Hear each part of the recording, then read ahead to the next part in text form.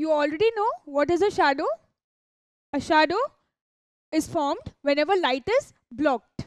Say we have blocked the light here by keeping our hands and a shadow of our hands is cast on the screen. So whenever light is blocked, shadow is casted on the screen. Now here you can see we have taken a ball as the opaque object that will help us cast a shadow and this torch is acting as a light source for us. Now we have taken a screen also. Now as we have lighted the torch, the rays are coming out of it, light rays. And as the opaque object is blocking its way, it is creating a shadow over here. But can you notice something? There are two parts of a shadow over here. Now, along with the shadow of this ball, this dark region, there is some light region also around the shadow. Well, they, these are the two parts of a shadow. Let's see what they, are called. Well, the two parts of shadow are, this is the umbra and this is the penumbra. Now, what is this umbra and penumbra? Well, you can see this very dark patch which is not allowing any light to come over here. This is called as umbra region of the shadow. And the outer region, this part which is slightly faint and allowing some light to come to it, it is called penumbra region. So you can say that the central and darkest part of the shadow, that is this part, is called as umbra, whereas the region of partial darkness, partial darkness means that the shadow is a bit faint here which surrounds the umbra. Now the penumbra will always surround the umbra. Notice this. So now you know there are two regions of a shadow. Umbra that is the darkest part of the shadow and penumbra which is comparatively faint. Now this is not necessary that every time a shadow will form these two regions. It may happen that you can see only the umbra or the umbra and penumbra both. But the umbra is necessary in every case. The penumbra may or may not be present in the shadow. Now this depends on the source of light. Let's see an experiment. Well, for that experiment, you need a torch and you need to cover this torch with say a paper and after covering the torch with a paper, create a pin size hole in that paper so that when the light comes out, it will come out from this point hole only. So we can say that the source of the light here is a point source because the light will come out as a point. So now you know how to create a point source with this torch. Now let's see an experiment. See, we have taken a ball and in a dark room, we are lighting this torch. Now we know that we have created a point source of light from this torch. So you can see a point source of light is coming out from this torch. Now we are keeping this ball in the place of this light in the path of the light blocking its way. You can see a shadow is formed. See, the shadow is formed on the screen we have taken.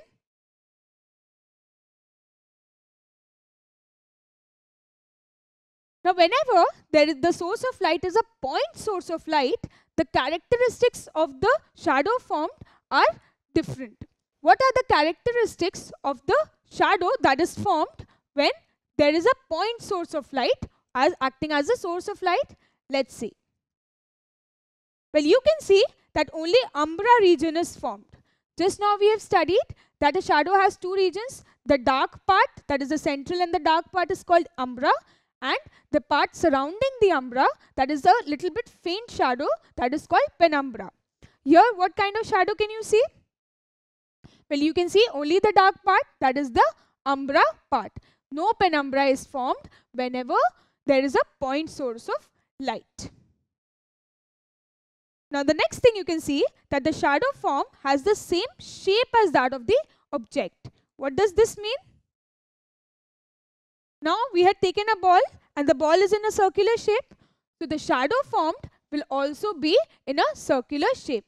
The shape will be same. Remember, I am not talking about the size of the ball. I am talking about the shape of the ball. Here you can see the ball is circular shape and so is its shadow.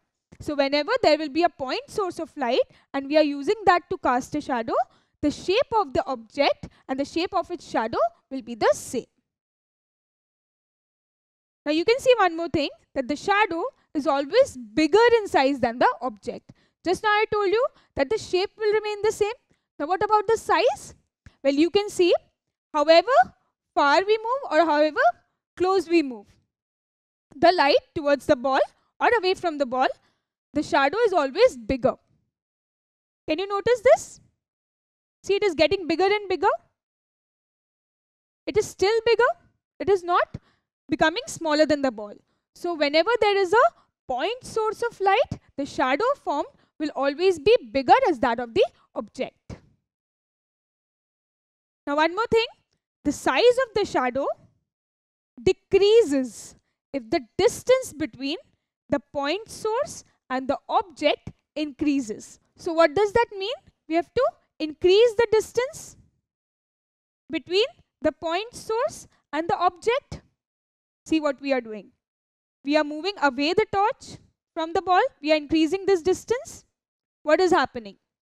The size of the shadow decreases. See, isn't the size of the shadow decreasing? You can see that. Now, I am not saying that the shadow will become smaller than the object. It will always remain bigger, but the size of the shadow decreases if we move the point source away from the object. Now let's see another thing. The size of the shadow increases. When does the size of the shadow increase? Can you tell me? See, we are moving the torch towards the ball. That is, we are decreasing this distance between the point source and the ball. And if we are doing that, we can see that the size of the shadow is increasing. So what do you do? Bring the torch closer to the ball, decrease the distance.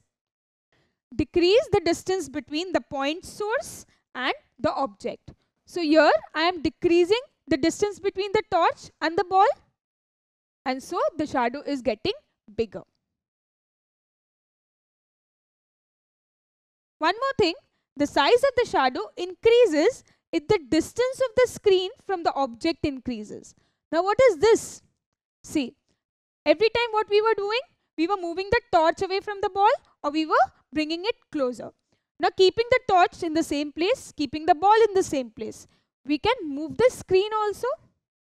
What we are doing, see, we are increasing the distance between the ball and the screen. We are moving the screen backwards. So this distance is increasing. And if this distance is increasing, we can see that shadow formed is also getting bigger and bigger. So you can say that the size of the shadow increases. When does this increase? If the distance of the screen from the object increases. So the distance between the object and the screen increases and the shadow gets bigger. Now what if I move the screen closer? Now this may also be the case. If I can take the screen backwards, I can also bring it forward. Now keeping the torch and the ball in the same place, I am bringing the screen closer. So what am I doing? I am decreasing the distance between the ball and the screen. You can see the distance is decreasing. Now notice the shadow. Isn't it getting smaller? So this is the characteristic of a point source light when as the size of the shadow decreases. Here you can see the size of the shadow is decreasing when if the distance of the screen from the object decreases. That the distance between the screen and the object is decreasing. So the shadow is getting smaller. What happens when I take it backwards? The distance increases, shadow gets bigger. The distance decreases, shadow gets smaller. So what, what characteristics did we study about when the shadow is formed from a point source of light? First of all, recall what was this point of source of light in our case? We had covered the torch with a paper and created a point hole from which the light was coming out. So this was point source of light. Now whenever we cast a shadow or make a shadow when we have this point source of light, there are some particular characteristics. First of all, only umbra region is formed. Now what was this umbra region? The dark and the central part of the shadow. That is very dark and no light reaches to this region. And what was the other one? The other one was penumbra. Yes, the penumbra region is the region that surrounds this umbra region. That is comparatively faint and allows some light to reach to it. But in this case, where we are using point source of light, no penumbra region is formed. Only the dark in the central part, that is the umbra region, that is formed. Now second, the shadow formed has the same shape as that of the object. Just in our case, you saw that the ball was circular and all the shadows it was casting, whether the distance was same or the distance was getting bigger or smaller, the shape of this ball was remain circular only. Now the shadow is always bigger in size than the object. You saw that that the shape remained circular but the shadow was always bigger in size as that of the ball.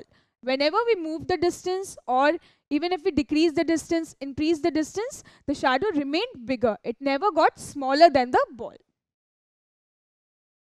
Now the size of the shadow decreases if the distance between the point source and the object increases and vice versa.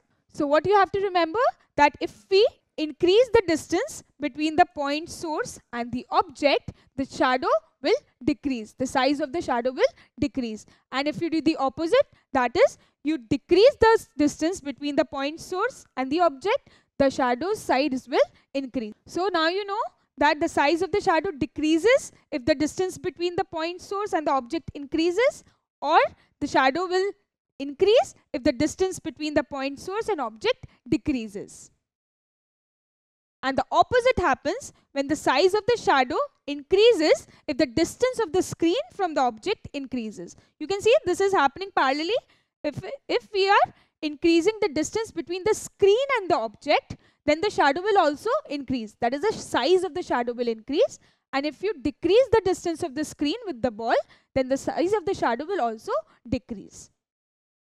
So the size of the shadow increases if the distance of the screen from the object increases and vice versa. That is, if you decrease, then the shadow size will also decrease.